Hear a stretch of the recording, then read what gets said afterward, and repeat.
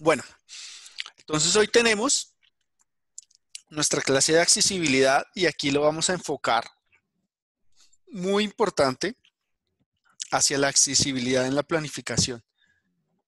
¿De acuerdo? Eh, espero que se hayan leído eh, las pocas lecturas que había para hoy y precisamente por eso quiero arrancar haciéndoles una pregunta. ¿Qué es la accesibilidad?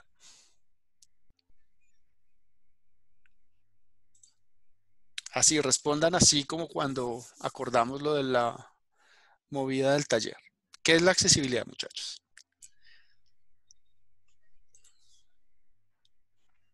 De a uno. Si, si no me responden, dejamos el taller para el miércoles.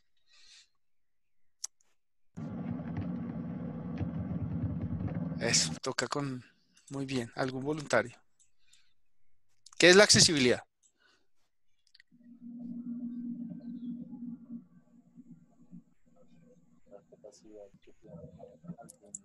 ¿Puedes hablar un poco más duro que no te oigo, Alejandro?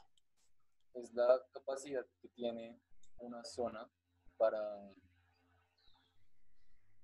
para llegar allá las facilidades que tienen.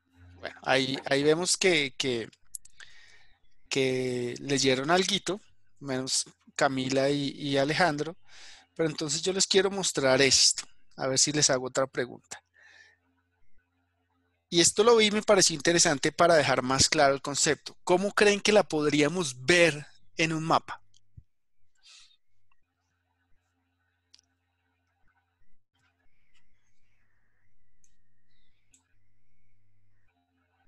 Por zonas de influencia. ¿Alguien me iba a decir algo? Parece que no. Entonces, bueno, acuérdense que tienen que participar. Imagínense en esto. Aquí tenemos Europa y espero que alcancen a ver los cuadritos. Cada cuadrito es equivale a 250 kilómetros en longitud, pues, o tiene de lado 250 kilómetros, que para efectos prácticos son 5 horas de viaje. ¿De acuerdo? ¿Qué pasa, por ejemplo, con la accesibilidad si yo mejoro notablemente la tecnología en transporte, por ejemplo, reduciendo los tiempos de viaje? Entonces vean cómo me queda el territorio. ¿Cómo lo podemos interpretar o cómo lo pueden interpretar? Ayúdenme aquí a ver, viendo estos mapas, cómo lo podemos interpretar. ¿Qué nos está diciendo esta figura?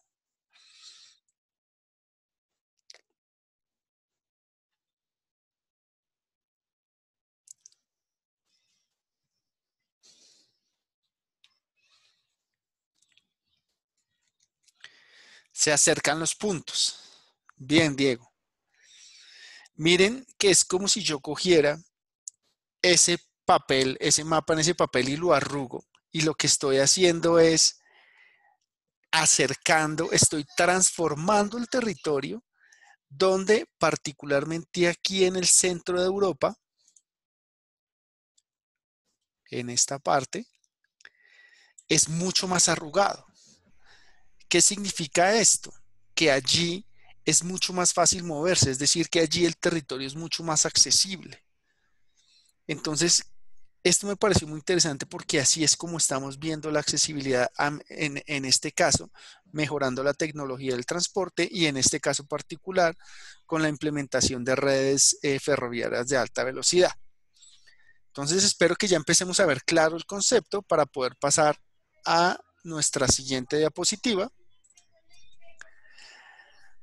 donde ahora sí, díganme qué es la accesibilidad. una persona nomás, porfa.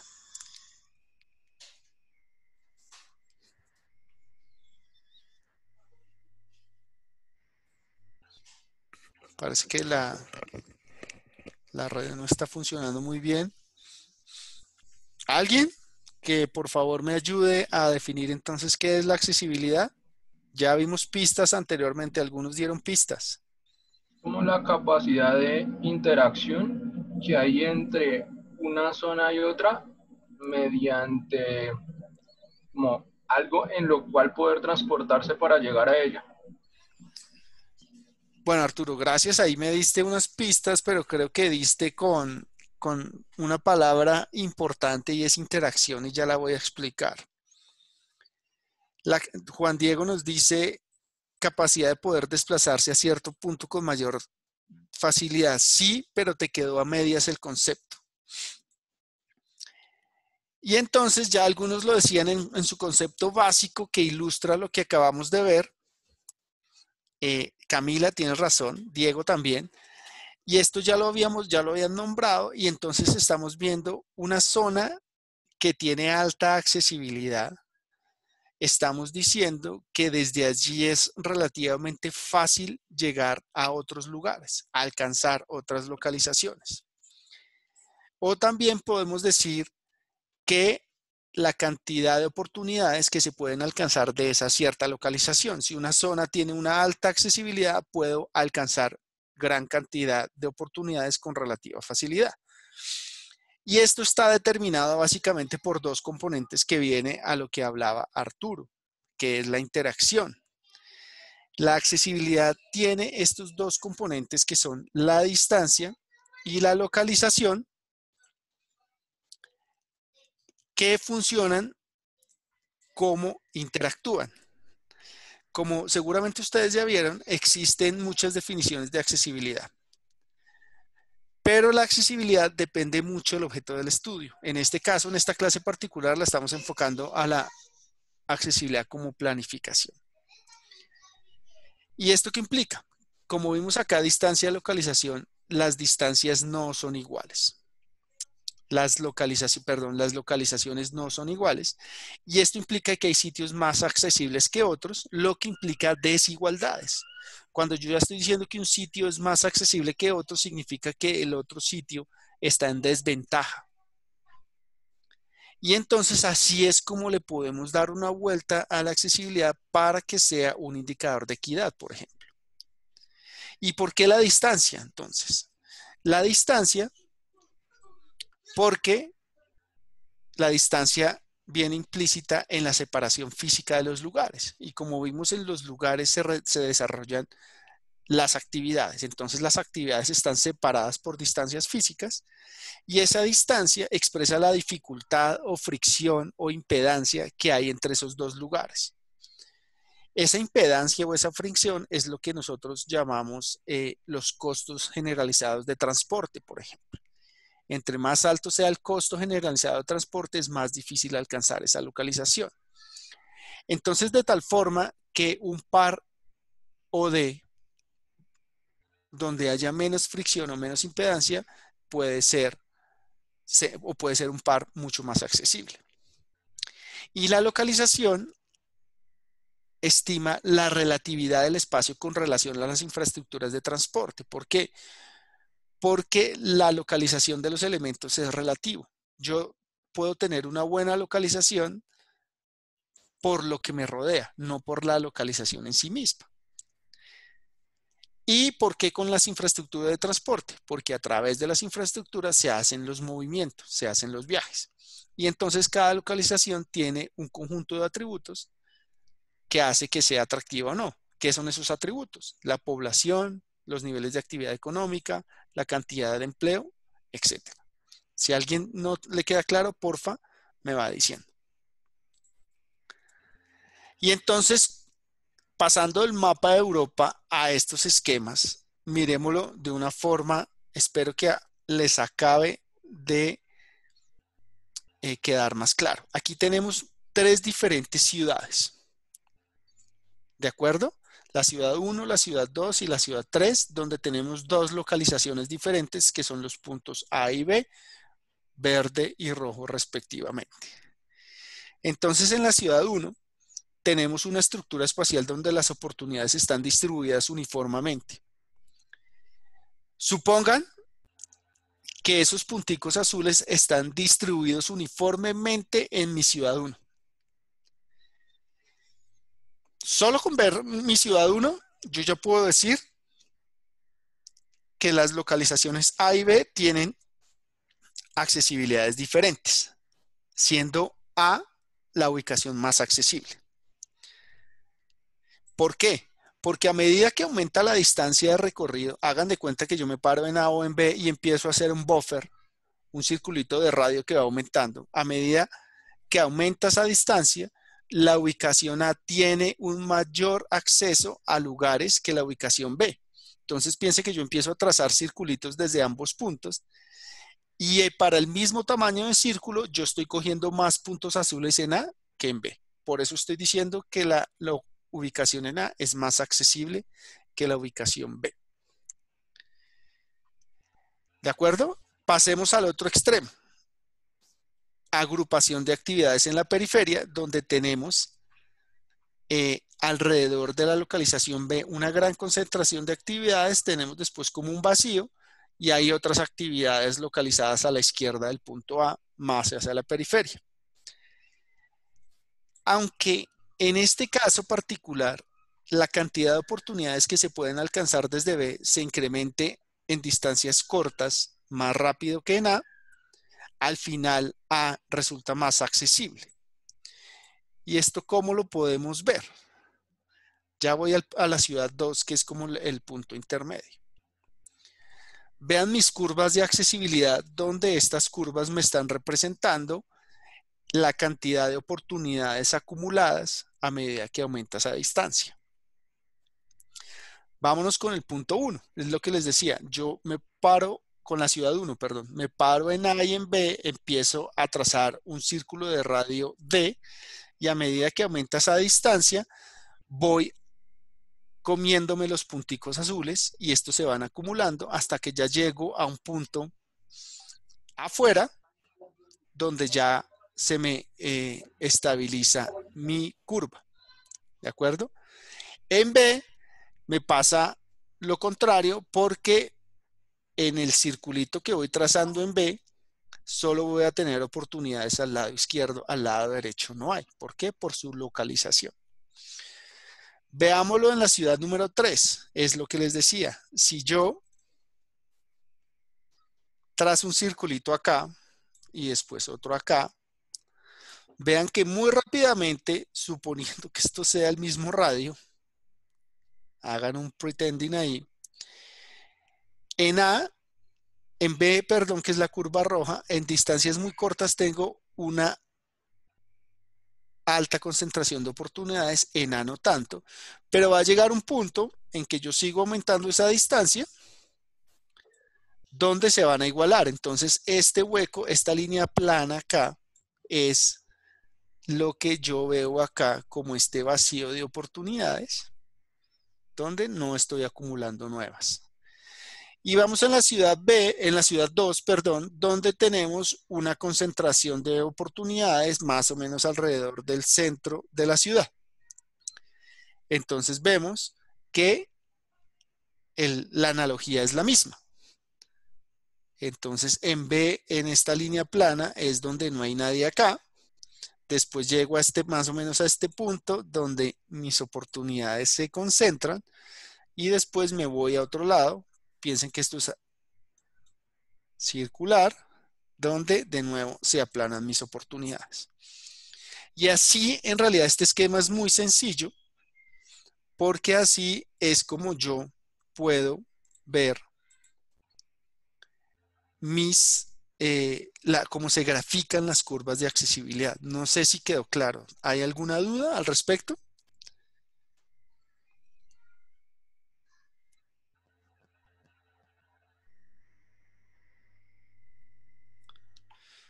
Ok, bien, entonces, si les parece, voy a continuar.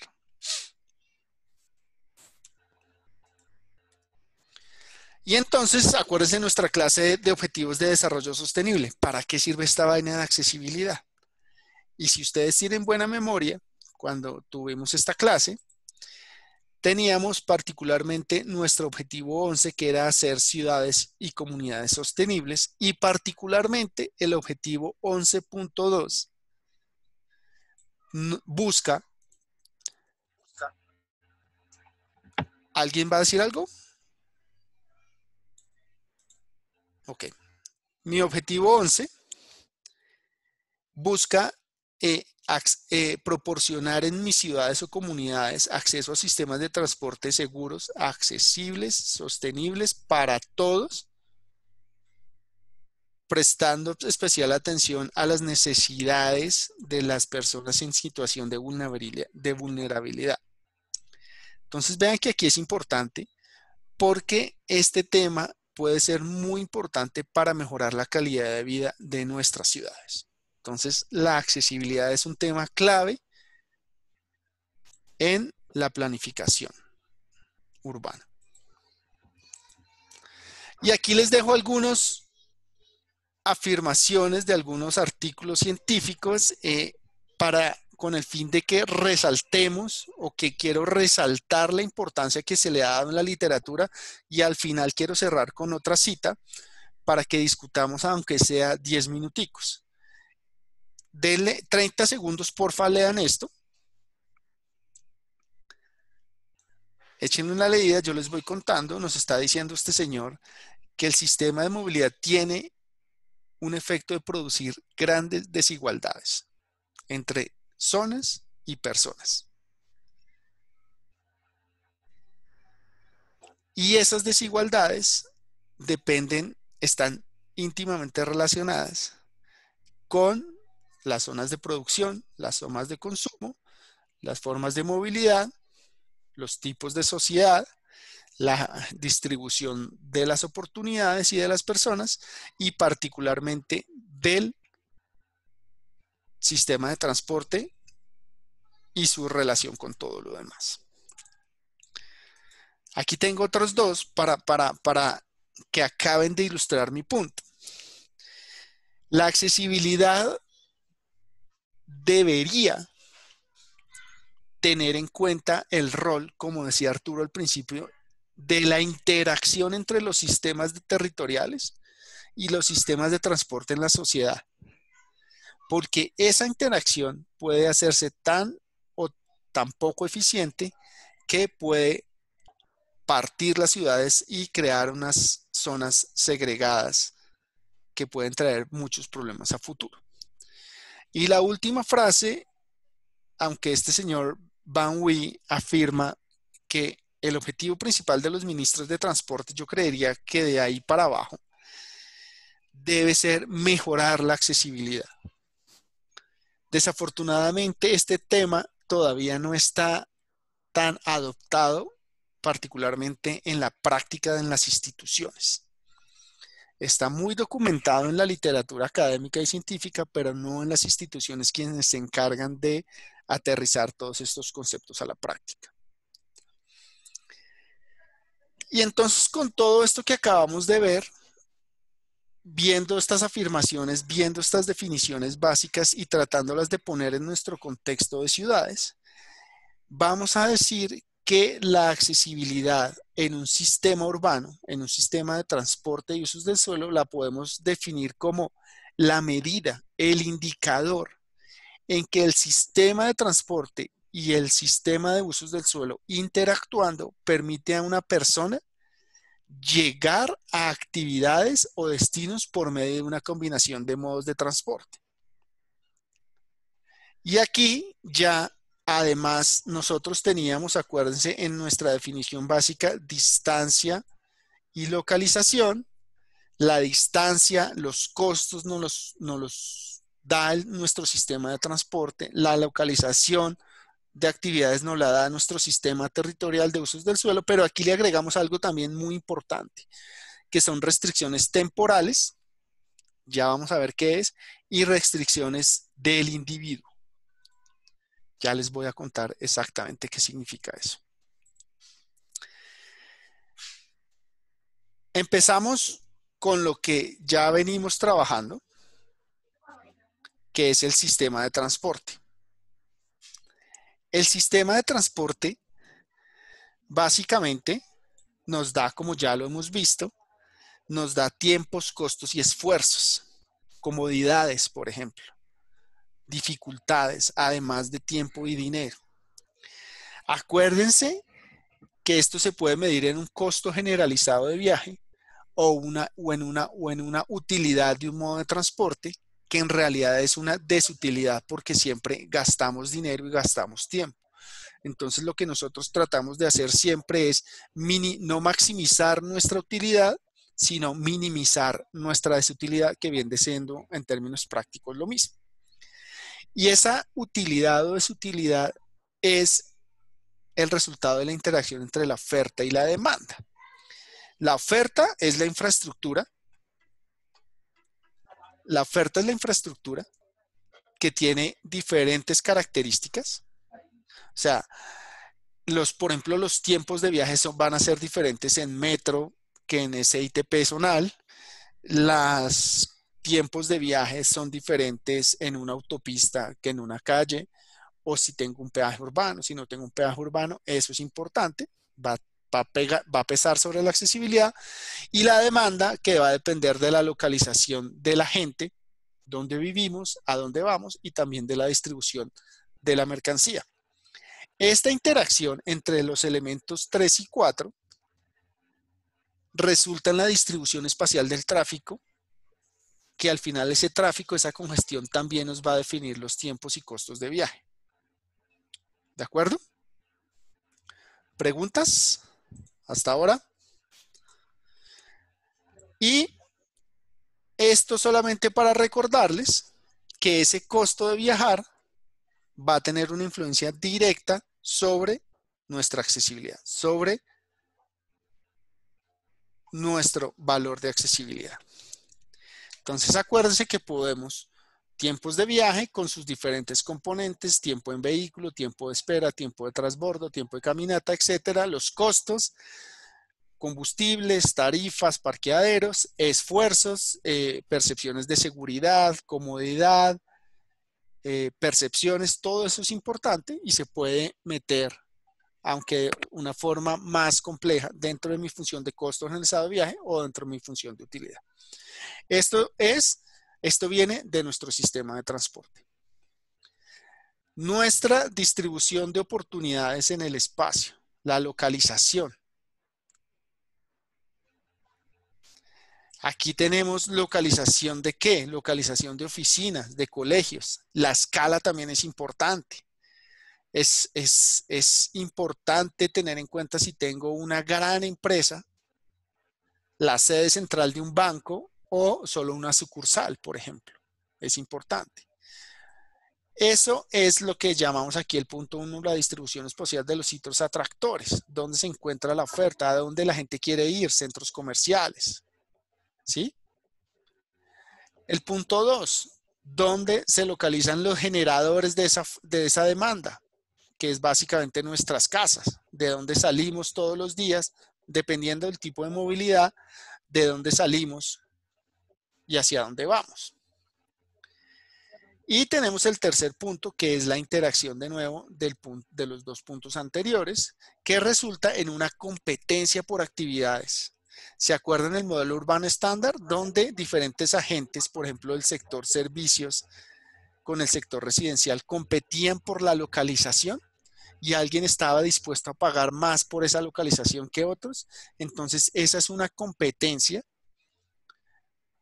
por esas actividades, por lograr copar el lugar de esas actividades y eso obviamente está restringido por unas limitaciones en, capacidad, de acuerdo a eh, el tipo de agente que yo esté trabajando. Eh, hospitales, estoy viendo aquí diferentes tipos de accesibilidad de empleo, dependiendo del valor agregado que se le da a esa actividad. Y entonces, desde el punto de vista desde, un tiempo cero, si todos los trabajos y viviendas estuvieran igualmente distribuidos sobre el territorio, en teoría cada habitante tendría los mismos niveles de accesibilidad. ¿De acuerdo? Si todo está uniformemente distribuido. Pero, ¿qué es lo que pasa en todos lados? Si los trabajos se concentran en una zona en particular, la gente que vive cerca de dicho sitio pues tendrá unos niveles de accesibilidad mayores. Entonces, la distribución espacial de las oportunidades influencia los niveles de accesibilidad a dichas oportunidades. ¿Qué quiere decir esto? que la distribución espacial de la demanda por estas oportunidades también influye en la accesibilidad si las oportunidades tienen limitaciones de capacidad. Esto aplica para las empresas, es decir, para los puestos de trabajo, para los colegios, para los hospitales, para el comercio. Y es lo que les decía hace un momento. Estos efectos de competencia son el resultado de la interacción entre la oferta y la demanda, que también a su vez influye en la accesibilidad. Por eso es muy importante tener en cuenta la competencia en un análisis de accesibilidad como parte de un sistema de usos del suelo. Y aquí hago una publicidad política no pagada. Camila, la idea es que le metamos a tu tesis efectos de competencia para que lo vayas mirando. ¿Vale? Seguimos. Entonces, si no hay preguntas. Ah, bueno, acá les muestro un ejemplito. Este es un mapa de Bogotá de concentración de puestos de trabajo. ¿Qué nos este, qué nos este, qué nos dice este mapa, muchachos?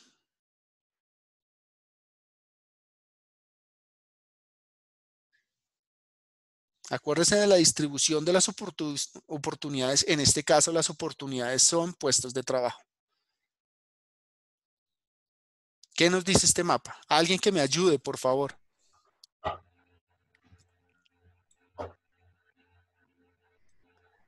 Que las oportunidades se concentran en Chapinero. Sí, digamos que Chapinero y esta, acuérdense que esta es la 30, esta es como la 92. La 100 viene como por acá. Que hay menos en la periferia. Digamos, gracias por la intervención.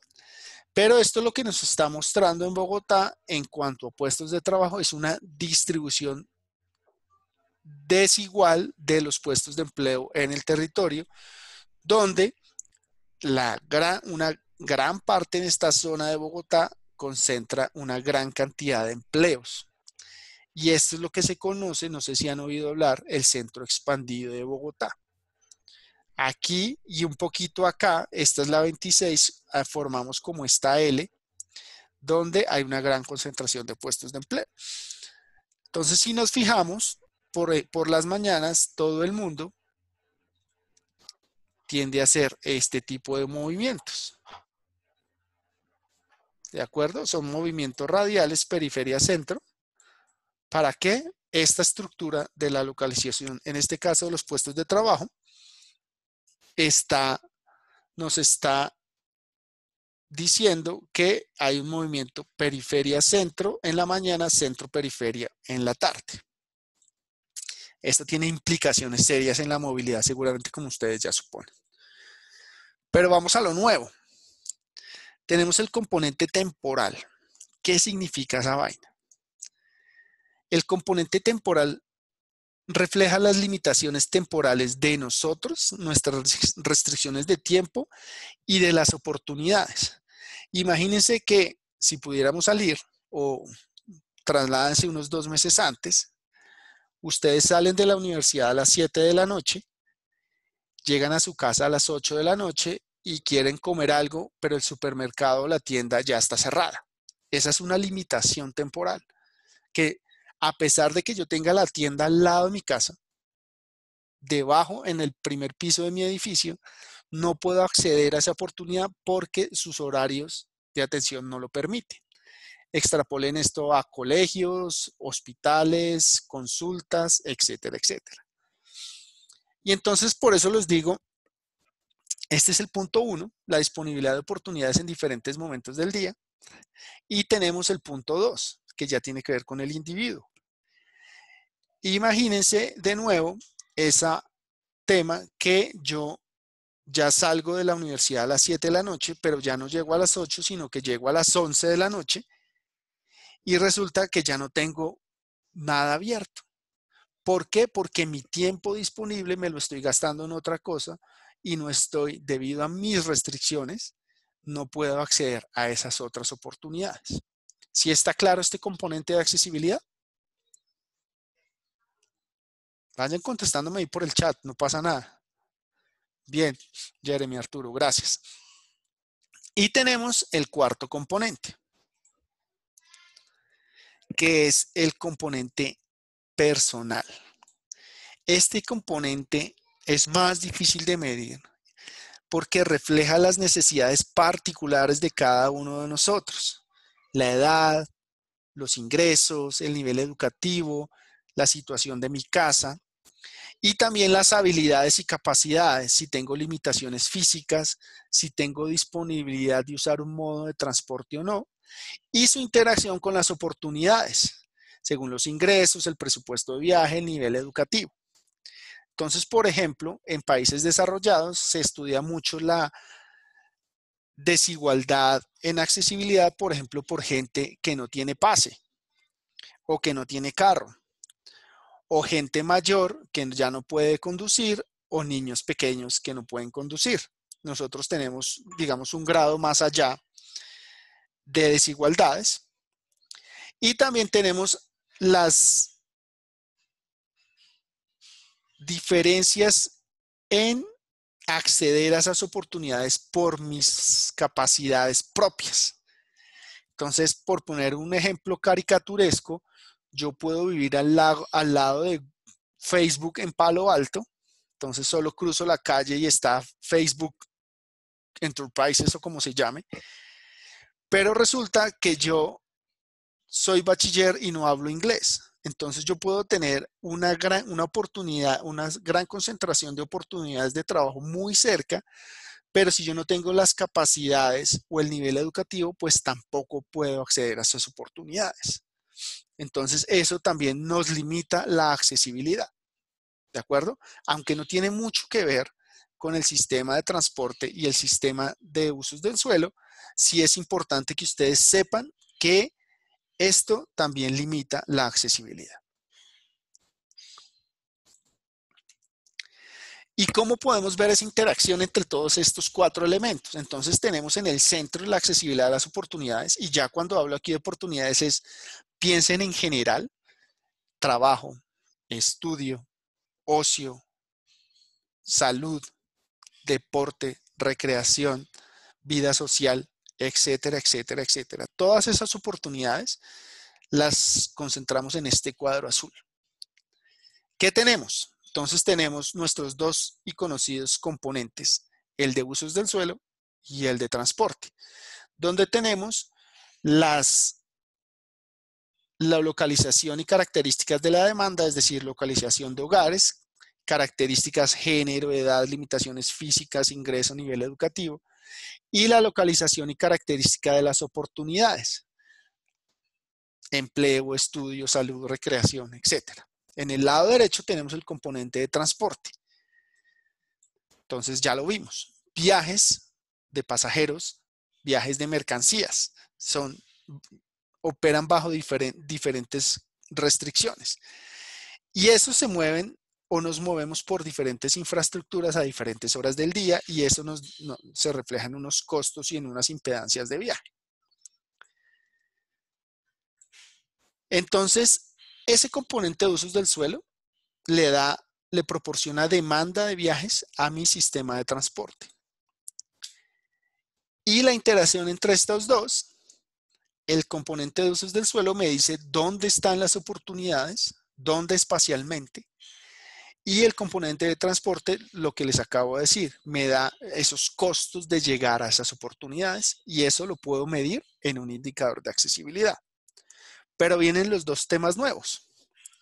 Tenemos el componente temporal que está dividido en las horas de atención de la oferta y el tiempo disponible mío para poder hacer las actividades que yo quiero. ¿De acuerdo? Entonces, eso también le pega a la, accesibilidad. Y está el componente individual con todas las limitaciones eh, y características de las personas y de los hogares que nos permiten realizar esas actividades. Entonces, el tiempo disponible mío lo, lo interrelaciono con el de las demás oportunidades. Y eso lo puedo meter en el componente de usos del suelo porque estos horarios de atención de servicios hace parte del componente de usos del suelo y estos componentes individuales me van a condicionar la forma en cómo yo me muevo o en cómo yo viajo para alcanzar esas actividades. Y después tenemos aquí eh, eh, otros eh, feedbacks, retroalimentación, donde dependiendo de las necesidades, oportunidades y restricciones, pues tengo condicionantes o incentivos para medir la accesibilidad teniendo en, teniendo en cuenta estos cuatro componentes. Aquí hay más flechitas, pero la idea es que les quede claro cómo interactúan estos cuatro componentes en la forma cómo influyen en la accesibilidad. ¿Hay alguna pregunta hasta acá?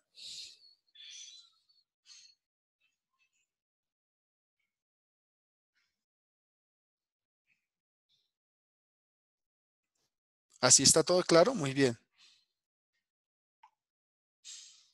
Entonces vamos a continuar. Y entonces, teniendo, teniendo claro esas componentes de la accesibilidad, hay, hay cuatro perspectivas básicas para poder cuantificar mi indicador de accesibilidad. Ya les voy a contar qué es. Entonces tenemos el 1, que es la más usada, la más conocida, que son las medidas de accesibilidad basadas en infraestructura. Y como ustedes seguramente ya lo supondrán, analizan el desempeño que yo mido, que yo cuantifico, o puedo incluso simularlo en un software de, transporte como Visum o M o Transcat, el nivel de servicio de esa infraestructura. ¿Y qué es ese nivel de servicio? Pues las velocidades de recorrido en esa infraestructura que me van a reflejar la congestión. Y esto es lo que típicamente se usa en la planificación del transporte. Yo asigno una matriz a un modelo macro de red y veo cómo está cargando la red, pero eso me está dando eh, la operación de la red generalmente en la hora pico, pero aquí estoy, aunque implícitamente los usos del suelo están metidos porque le estoy metiendo una matriz origen-destino, no lo estoy teniendo en cuenta de una forma muy integrada en este tipo de medidas de accesibilidad. Tenemos medidas basadas en la localización, ya me voy es para el otro lado, donde ya no me baso en la red y en su desempeño, sino en dónde están las actividades. Y entonces aquí parto del otro, del otro extremo, donde, por ejemplo, una medida clásica es una medida de accesibilidad por isócrona, donde yo a un punto en particular trazo un buffer de 30 minutos de viaje y ese buffer, ese polígono que me queda, lo inserto en mi, en mi espacio de actividades y lo que me quede dentro de esos 30 minutos, yo lo cuento y digo, esa es mi accesibilidad en 30 minutos de viaje. Esa es la típica medida de accesibilidad por isócronas. Pero también yo puedo complementar mucho esta medida incorporando eh, restricciones de capacidad para incluir los efectos de competencia que hablaba originalmente. Y estas medidas basadas en isócronos se utilizan típicamente de una, las primeras eran solo transporte, estas son solamente planificación urbana. Lo importante aquí que yo quiero que, tengan en cuenta es que nosotros, o lo que quiero yo es que veamos todo integrado, no de un solo lado, no, de un solo, no desde un solo punto de vista. Tenemos las medidas basadas en el individuo. Las medidas basadas en el individuo, como su nombre lo dice, medimos la accesibilidad a nivel individual, que es un poco más complejo.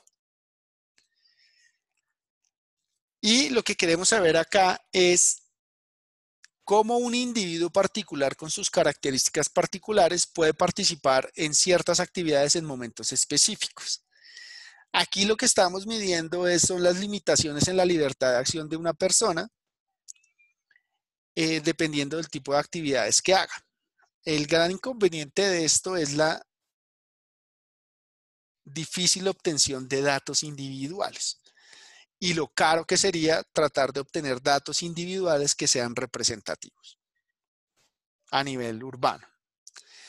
Y tenemos por último las medidas basadas en la utilidad, que es básicamente estimando funciones de utilidad de las individuos o de un grupo homogéneo de individuos, donde analizamos los beneficios, en este caso económicos, porque al, hablar de función de utilidad le estamos dando un valor a cada uno de esos componentes, un valor subjetivo a cada uno de esos componentes de la función de utilidad, que las personas obtendrían a poder acceder a esas actividades repartidas por el territorio. ¿De acuerdo? Y aquí les quiero hacer es un resumen. Diego, déjame terminar esto y ya te, ya te respondo. Les tengo un resumen de las diferentes medidas de accesibilidad, infraestructura, localización individual, utilidad y algunos componentes y variables que se podrían usar para poder cuantificar esas medidas. Entonces, las medidas en infraestructura no incluyen, como ya les dije, un componente de usos del suelo, no son sensibles a los cambios en la distribución espacial de esas actividades, pero sí en los niveles de servicio. ¿De acuerdo? Y el componente temporal en estos, en estos elementos, en estas medidas de accesibilidad, se trata explícitamente en las medidas basadas en las personas y generalmente no se consideran en las otras perspectivas o se tratan, bueno, también a veces se tratan, solo están implícitamente, por ejemplo, cuando calculo los niveles de accesibilidad en la hora pico y en la hora no pico, para ver las diferencias temporales. Las medidas basadas en, en el individuo y en la utilidad generalmente se centran en el componente personal, analizando la accesibilidad a nivel individual. Y las medidas basadas en la ubicación generalmente analizan la accesibilidad a nivel macro, pero se centran más en incorporar restricciones espaciales en la oferta, generalmente excluidas en los otros enfoques. Entonces vean que esta gran diferencia de formas de medir la accesibilidad se enlaza directamente con lo que hablamos al principio, que es yo defino la accesibilidad de acuerdo al objetivo de lo que yo esté estudiando. Diego, en la medida 2, basada en la localización, únicamente es a partir del tiempo o a partir de la distancia. Diego, puede ser de las dos cosas. Yo puedo poner una distancia de viaje, por ejemplo, 2 kilómetros, o puedo poner 10 minutos. Lo que pasa es que ahí tengo que tener en cuenta el modo de transporte, porque si yo pongo, yo hago un buffer de 10 minutos de tiempo de viaje, esos 10 minutos a pie son muy diferentes si yo voy 10 minutos en carro. Entonces, se puede hacer a partir de las dos cosas o incluso se podría hacer a partir de un costo generalizado de transporte, pero tengo que definir o dejar claros mis supuestos. Espero haberte respondido.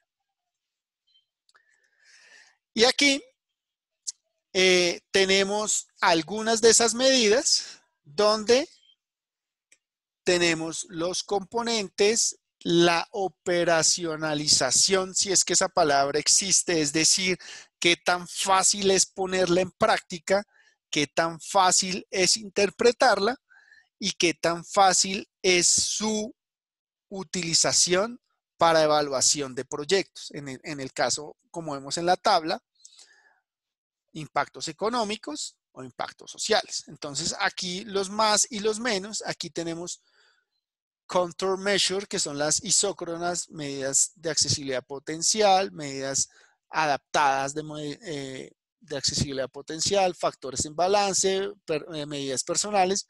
Aquí pueden ver algunos estudios donde tienen, cada una tiene sus pros y sus contras. Entonces yo tengo que escoger muy bien qué quiero hacer, qué información dispongo, también es muy importante, y qué quiero medir.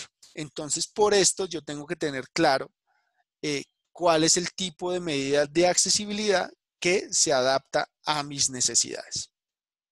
¿De acuerdo?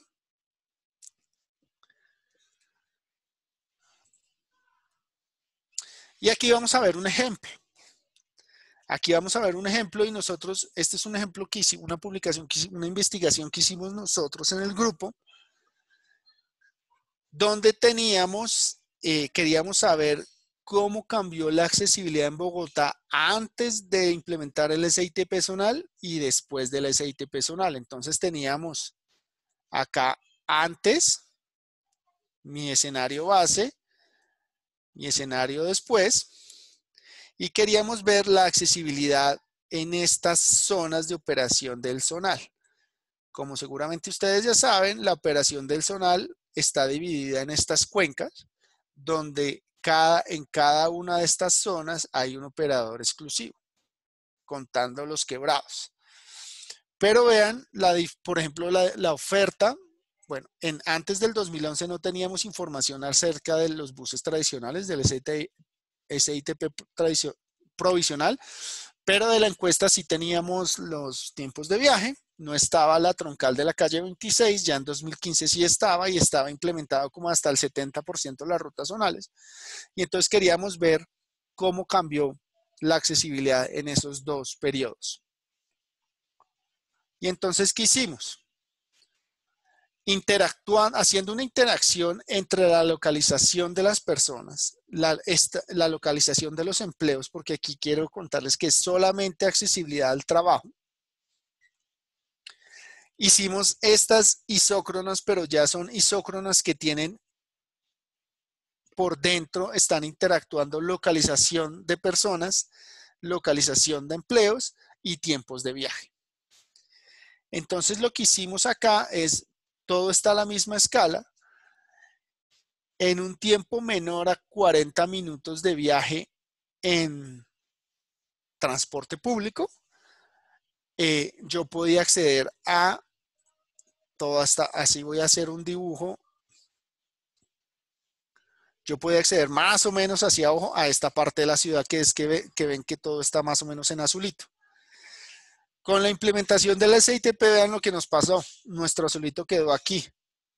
No tengo un color bueno que se me, que me resalte, pero más o menos esto. Y entonces el punto de, este, de esta investigación fue que debido a la mala implementación del SIT personal, a que hubo zonas en la ciudad que nunca entraron a operar los operadores que se ganaron la, la cuenca, a los retrasos en la implementación, a las bajas frecuencias del SIT personal, pues en términos generales, la accesibilidad al trabajo empeoró en la ciudad. ¿Cómo vemos que empeoró? Pues porque ya hacia ojo, el mapa de la derecha está más rojo que el mapa de la izquierda. ¿Y esto cómo lo podemos aterrizar en unos gráficos? No sé si alguien me puede decir qué lee de estos gráficos. Porfa. Ayúdeme.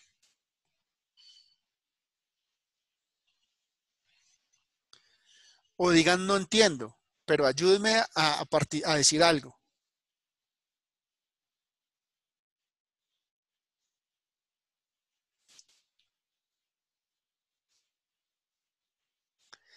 Bueno, Laura, esta, pregunta si quieres la dejamos al final para no desviarnos el tema, pero te la tengo anotada para el final, ¿vale? La pregunta que tengo ahora aquí es, ¿qué entienden de estos gráficos? De estos cuatro grafiquitos.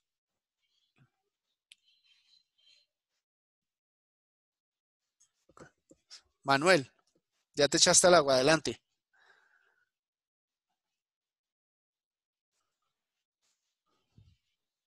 Manuel, ¿qué pasa? ¿No?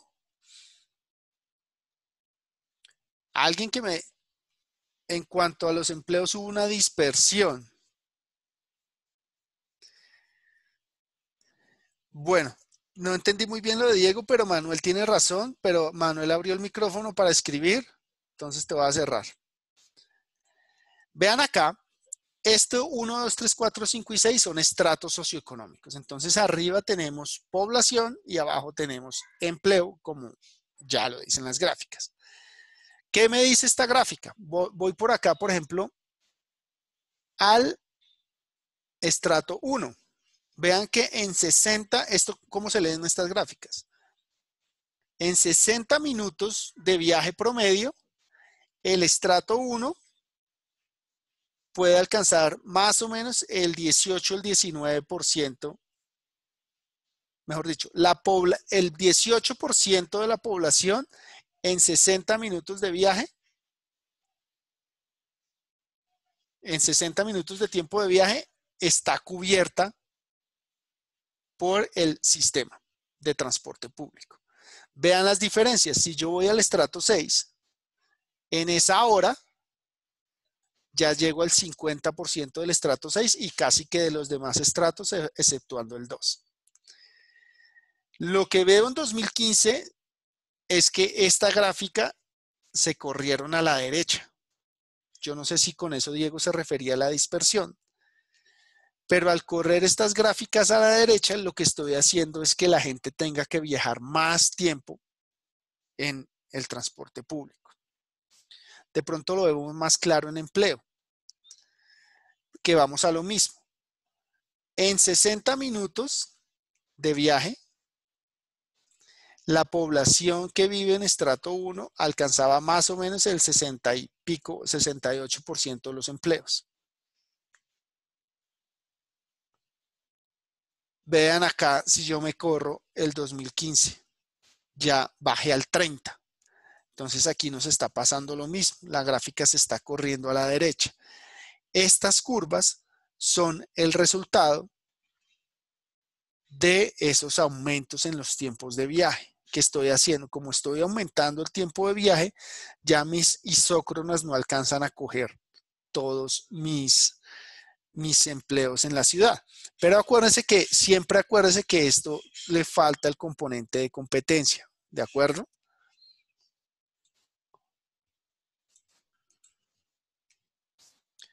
¿Hay preguntas a este respecto? ¿Quedó claro cómo se interpretan estos resultados?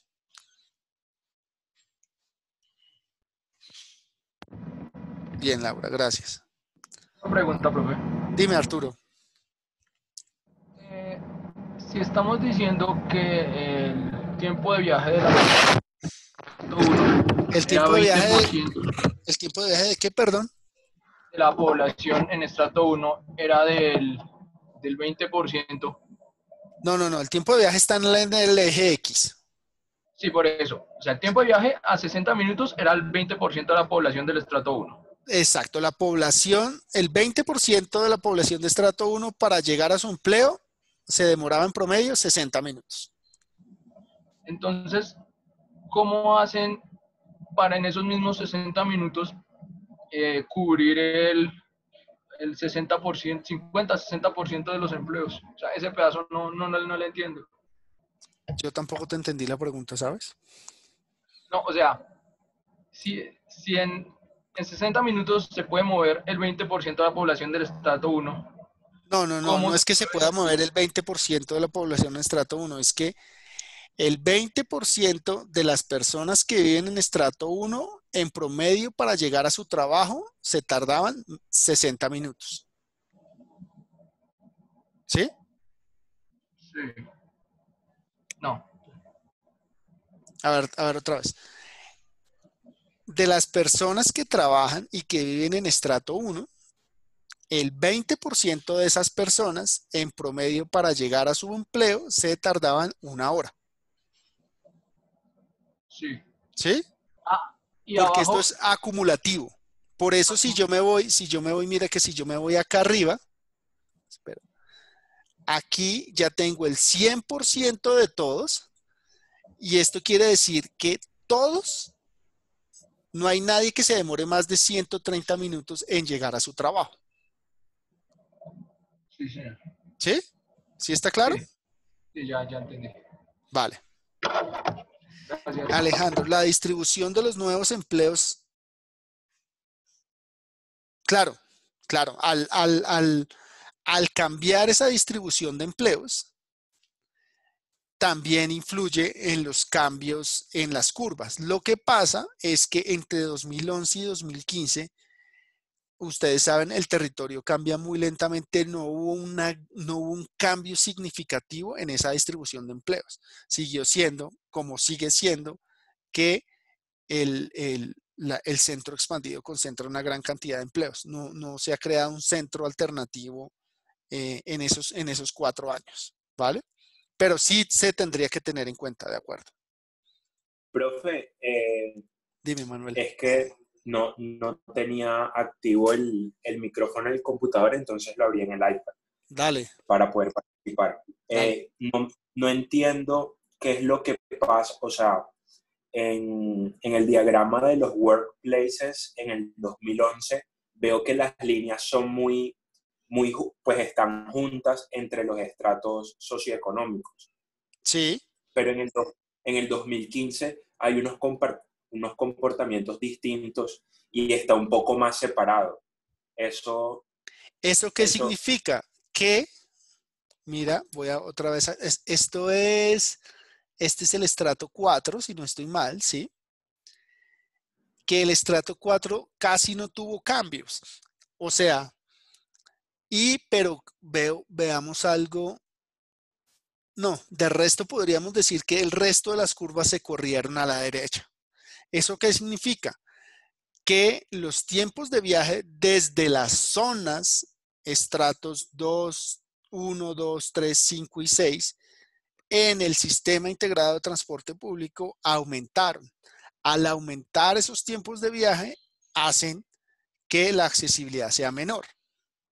¿Sí está claro? sí, sí, lo entiendo. So- sino que me causaba, me causaba curiosidad como la forma que, que tuvo el, el estrato 6, pero pues me imagino que ha- habrá que ver Ahí, el- sí, y ahí básicamente es porque hay muy poquitos datos. Ah, ok. Pero ahorita te lo, lo explico mejor, ¿vale? Bueno, gracias. Vale. Jeremy, pregunta. Eh, ¿sí me escuchan? Sí, señor.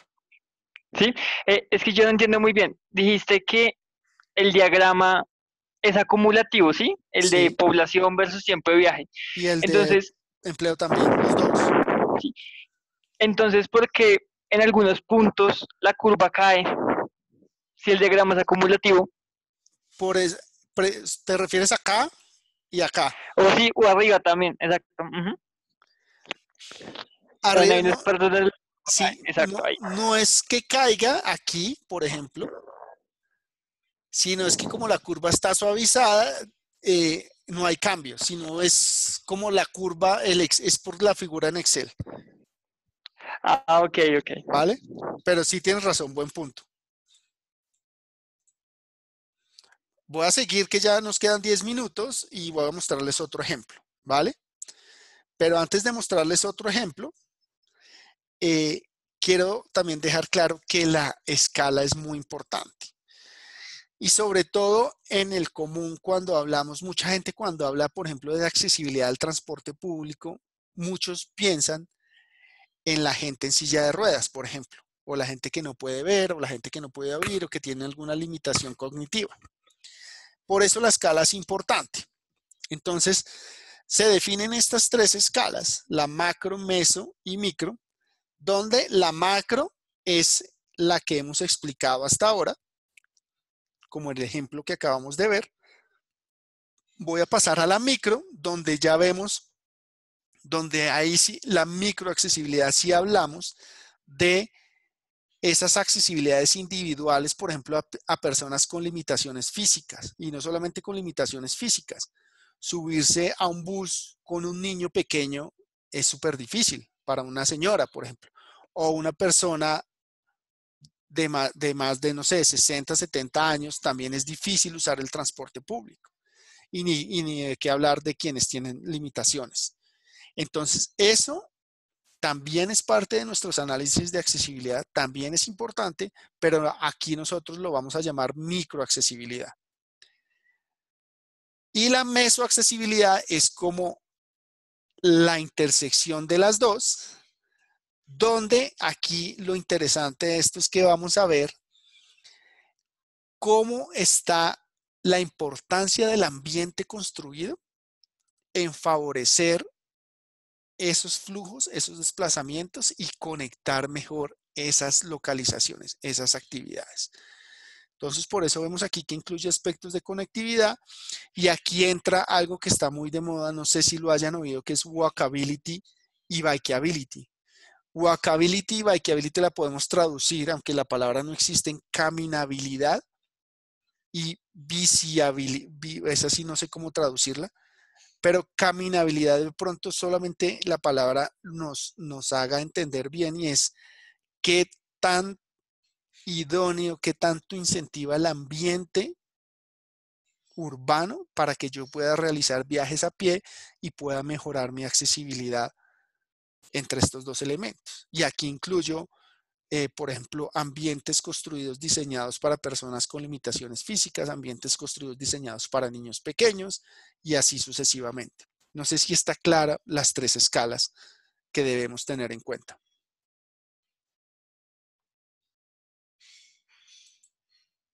Bueno, supongo que sí. Y ya para ir cerrando, entonces acá lo que nos tenemos que preguntar es esto. ¿Cómo viajan las personas? No solamente la, pregunta que siempre me he respondido es cuántas personas viajan y de dónde a dónde. Pero yo los invito a que pensemos un poco más allá y a pensar cómo viajan esas personas. Yo sé que Transmilenio mueve muchas personas muy rápido y eso está bien, pero ¿cómo es la experiencia de viaje de esas personas? ¿Eso influye en la accesibilidad? ¿Cuáles son las características de las personas que viajan? Eh, los, los, de acuerdo a la última encuesta de movilidad, el 86% de los usuarios de nuestro sistema de transporte público viven en estratos 1, 2 y 3. Entonces ahí ya nos podemos ir dando una idea de los mayores usuarios del sistema. ¿Para qué viajan? Eso es importante porque podemos guiar la demanda hacia modos más sostenibles en qué entorno o en qué ambiente viajan. Y esto acuérdense de la mesoaccesibilidad, cómo es el, el, ambiente construido para incentivar la caminata y el uso de la bici en nuestras ciudades. ¿Qué usan para moverse? Y al final de todo esto es por qué usan esas cosas para moverse, porque es cómodo, porque es barato, porque es lo único que tengo, porque no tengo otra alternativa.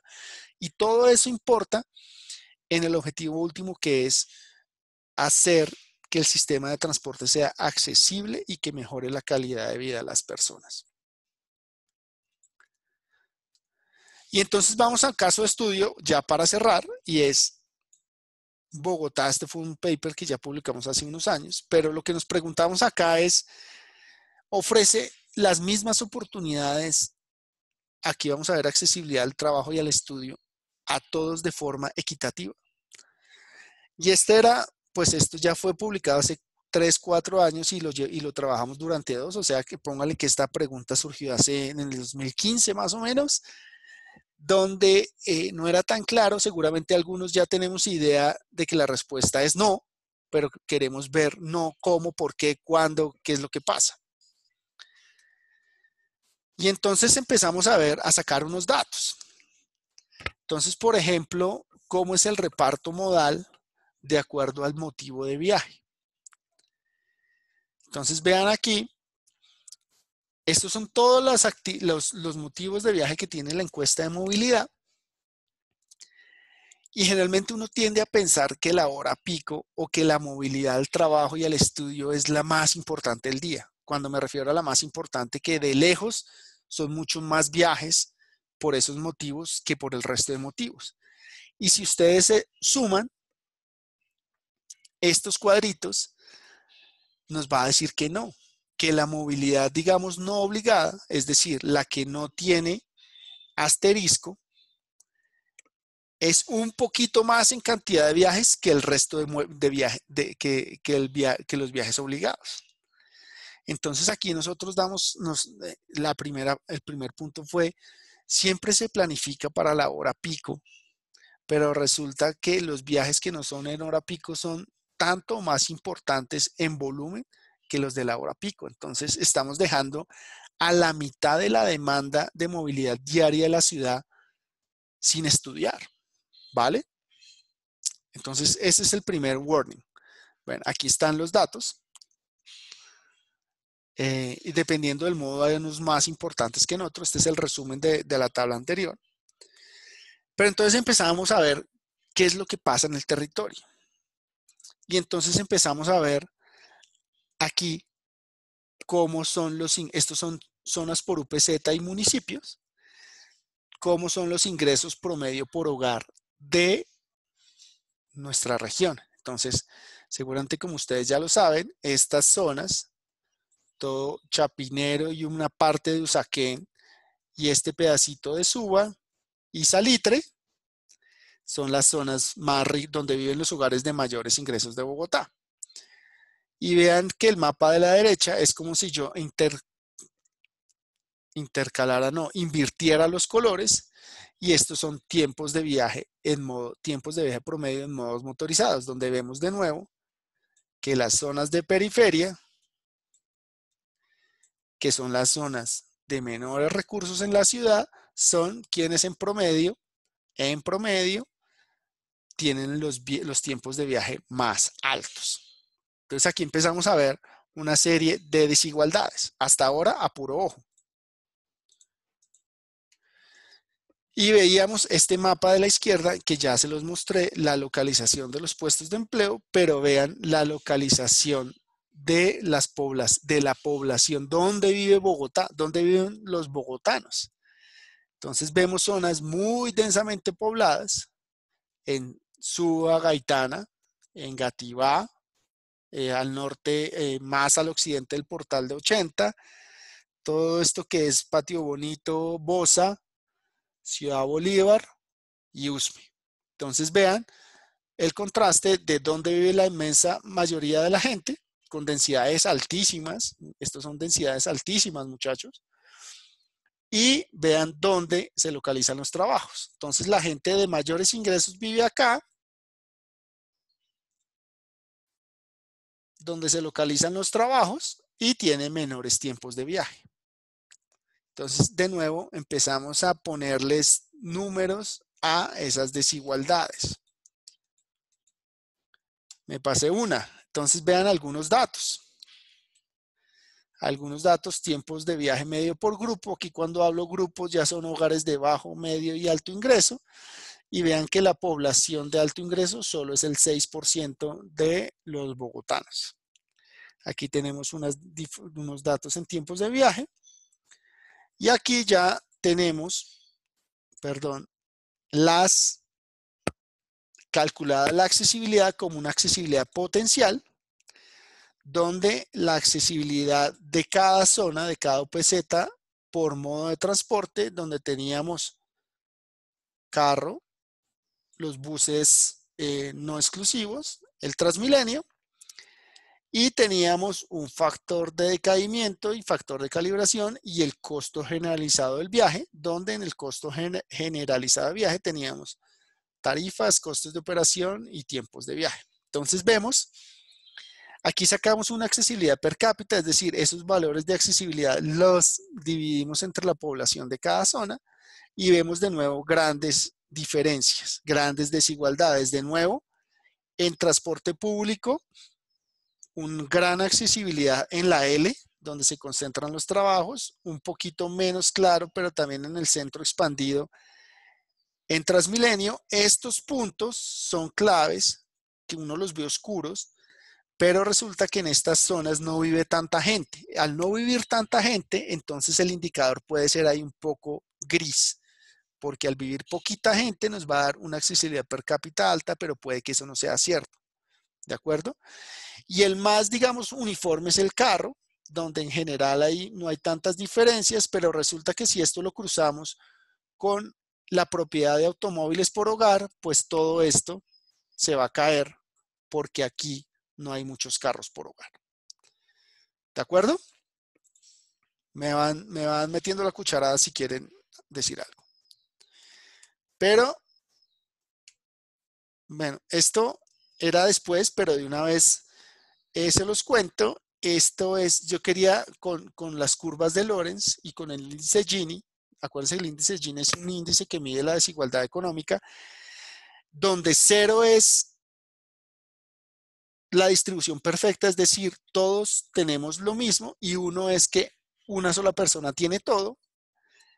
Esta línea diagonal a 45 grados me nombra la igualdad perfecta.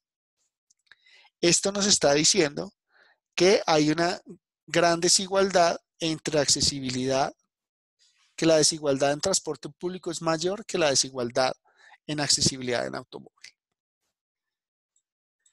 Pero ya para cerrar, que ya sí se nos está acabando el tiempo ahora sí, quiero hacerles la última pregunta y es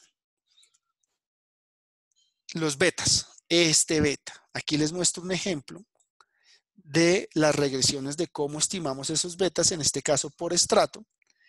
Pero yo quiero a ver si ustedes me ayudan a decir qué significa ese beta. ¿A qué les suena que implica ese beta? ¿Qué significa? Vean estos valores de acuerdo al estrato. ¿Qué creen o a qué les suena que, que sea el beta? ¿Qué implica?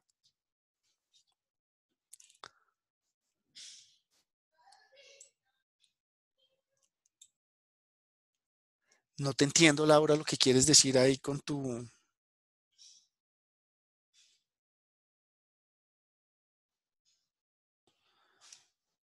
¿Qué, me quieres decir?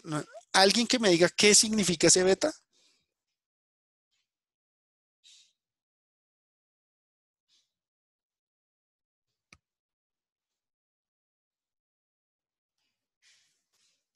¿Alguien? Aunque se digan, no, no tengo ni idea. Siga, que ya me tengo que ir.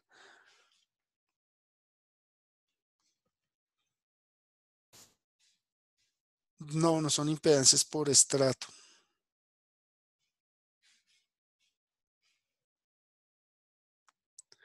No, no es un factor que incide en el valor del suelo. Voy a borrar esto y me voy a ir a la siguiente. El beta, que lo que me está diciendo es qué tan rápido decae mi función. ¿Qué significa entre más? Véanlo, veámoslo acá. Veámoslo acá. Si este beta es muy grande, ¿qué pasa con este número acá? A ver, si yo tengo beta por X, que es, que es igual a Y, entre el beta sea más negativo, ¿qué pasa con el Y? ¿Se vuelve más qué? ¿Grande o chiquito?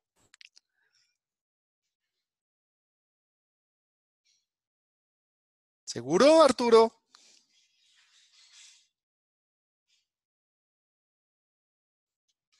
Si el B, piénselo, no lo piensen así. A la E, exponente. Es que escribir con el ratón es difícil.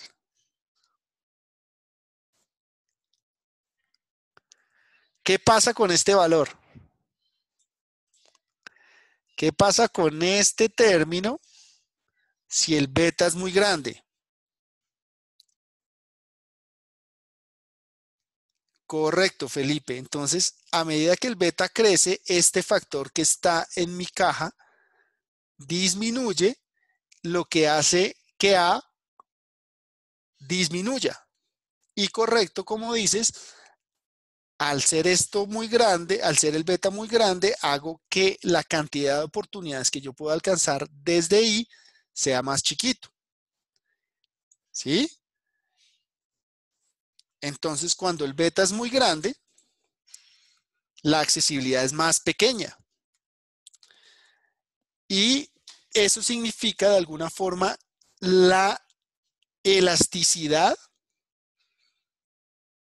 de el tipo de accesibilidad. Es decir, aquí vemos, aquí no lo tengo, pero la curva azul sería el beta para las personas de menores ingresos y la curva amarilla para las personas de mayores ingresos. ¿Por qué? Piensen, por ejemplo, en el transporte, en este caso en el transporte público. Si yo tengo altos ingresos y el transporte público o la frecuencia baja mucho o le suben a 5 mil pesos, yo puedo dejar de hacer el viaje en el transporte público. Pero hay personas que inmediatamente no pueden porque no tienen alternativa, son usuarios cautivos del transporte público. Entonces, de ese parámetro, de alguna forma me está reflejando las condiciones socioeconómicas, en este ejemplo, de las zonas donde si vemos los estratos, vean que son más bajitos en los estratos más bajos. ¿Qué significa? Que los estratos altos pueden dejar de hacer el viaje en ese modo de transporte.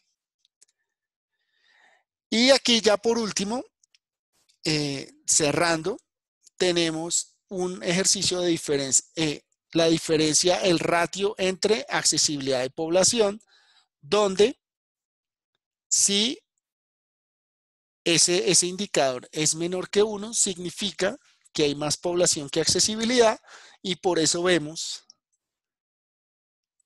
zonas con déficit de accesibilidad son las zonas más pobres, tanto en carro como en transporte público. Entonces, todas estas zonas donde el indicador es mayor que uno, significa que hay déficits de accesibilidad en uno de los dos modos de transporte. Creo que ya terminamos.